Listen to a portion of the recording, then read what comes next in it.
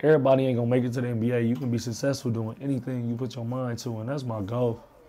I just want them to look at me, six two kid, right out of Beecher, like anything possible. That should be enough right there, you know. Just let them know anything possible, and my job is done.